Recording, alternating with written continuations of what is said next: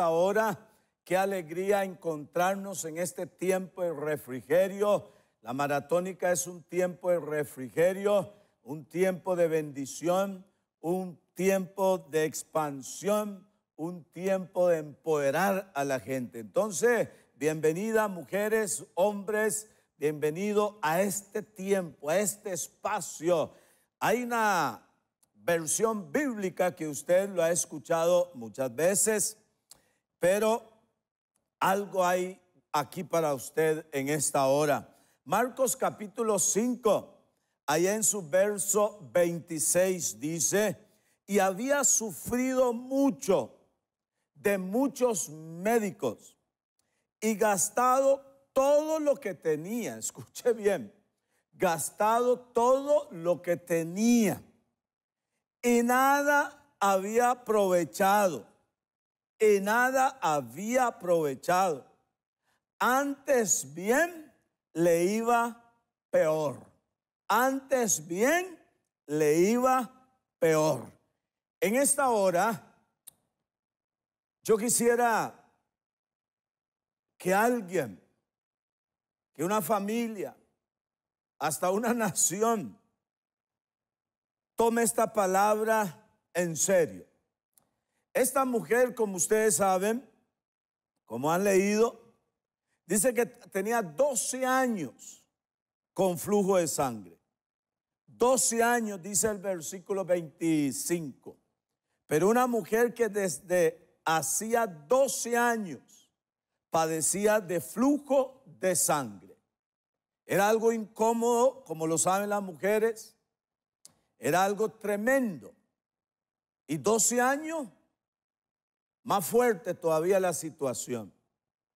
Pero lo, lo grave aquí dice que ella había sufrido mucho en manos de, de, médicos. Y lo otro, gastado todo, imagínese usted, ya ella había gastado todo, así como a veces gastamos la esperanza, gastamos las posibilidades, hasta el dinero, como el caso de ella. Y dice que nada había aprovechado.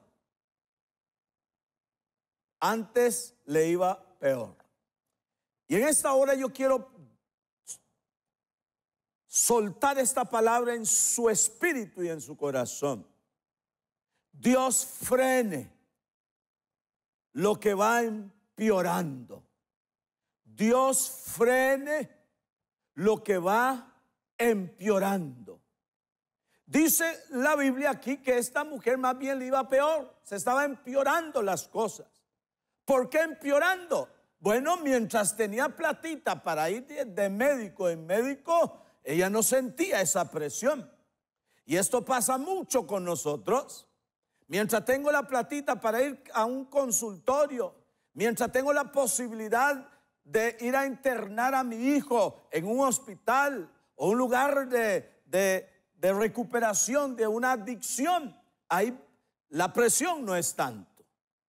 Pero quizás alguien entiende, está viviendo lo que esta mujer pasó. Ya no había esperanza como muchas personas quizás ya no tienen esperanza de salir avante. Pero Dios un día, esta mujer, como usted sabe la historia, Jesús frenó esos 12 años. Porque si Jesús no hubiera aparecido en escena, si ella no hubiera desafiado la fe, las, las leyes, ella desafió todo porque salió al encuentro a tocar a Jesús. Se sumaría 13 años, 14 años, 15 años. Y quizás yo no sé cuántos años lleva usted con esa situación, esa circunstancia. Pero ella determinó hacer algo. Siempre me gusta hacer énfasis de esto cuando estoy en, en predicando, que es que la gente hacía algo. Siempre hacían algo para provocar su milagro. Y en esta hora usted y yo tenemos que hacer algo. para provocar ese freno. Porque yo creo que ya es hora. Usted no puede esperar otro mes para que el asunto siga de mal en mal, de peor en peor. Ella determinó, sí, ya son 12 años. Son 12 años de estar sufriendo. Yo voy a yo voy a hacer algo diferente. Yo voy a actuar de otra forma. Sí, he ido a doctores, sí he ido a psiquiátricos, pero dice acá que más bien ella le iba peor. Se estaba empeorando las cosas y yo visualizo gente que se está empeorando su matrimonio y, y quizás usted no ha hecho nada y por eso hoy es un día especial para que usted haga algo con la idea de que eso que se está empeorando, Dios lo frene, que Dios lo frene, porque un día Jesús tomó la situación de esta mujer y frenó sus 12 años consecutivos. Dios puede intervenir en esta hora y frenar eso Así como esta mujer encontró un freno de parte de Jesús. Pero el frenar se provoca. ¿Qué dije? El frenar se provoca. Porque esta mujer en 12 años no provocó lo que le sucedió, el milagro. Estaba confiando en manos, en manos humanas. Estaba confiando en su capital, en su dinero. Estaba confiando en su posibilidad. Hasta llegó hasta que llegó el día que se le terminó el dinero. Se le terminó el dinero. Se le terminó la esperanza. Se le terminó las posibilidades. Pero aleluya. Ella hizo algo que no hizo aleluya, ella hizo algo que no hizo en los 12 años. Fue donde estaba el maestro, tocó al fue al verdadero, aleluya, esa semilla que usted y yo estamos sembrando, lo estamos poniendo en las manos verdaderos, en las manos de que Él puede frenar lo que se está empeorando. Ella en 12 años estaba tocando a otros iba, venía y nada pasaba. Y llegó el día que le iba, que estaba empeorando. Yo no sé qué se está empeorando en su vida. Puede ser su matrimonio, puede ser su negocio, puede ser el amor, puede ser la relación padres e hijos. Se está empeorando, pero haz algo hoy. Le estamos diciendo que haga algo hoy. Haz algo hoy. Esa mujer frenó sus 12 años con flujo de sangre. Cuando hizo algo, ¿qué hizo? Tocó a Jesús, fue al verdadero. Póngale esa semilla en la mano del verdadero, al que puede frenar lo que nadie puede frenar en esta tierra. Jesús lo puede frenar, lo que la tierra no puede frenar. El Cristo resucitado lo puede frenar. Dije lo que la, porque hay cosas aquí que no no lo puede frenar las cosas de la tierra, muchas. Ese freno tiene que venir del cielo.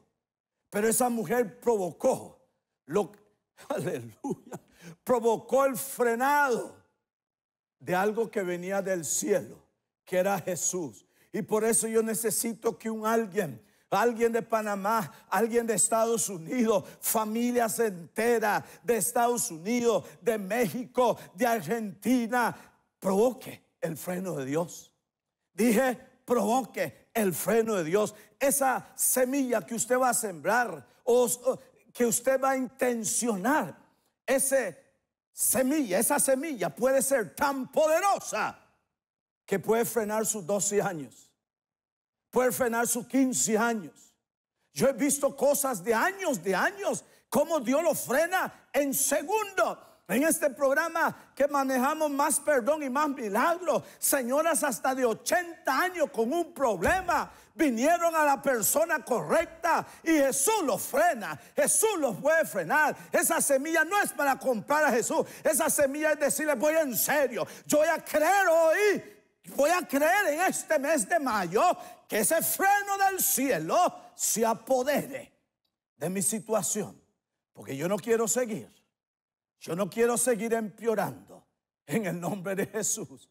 entonces corra a esos números que aparecen en pantalla. Alguien se comunicará con usted y empiece su frenar con una semilla.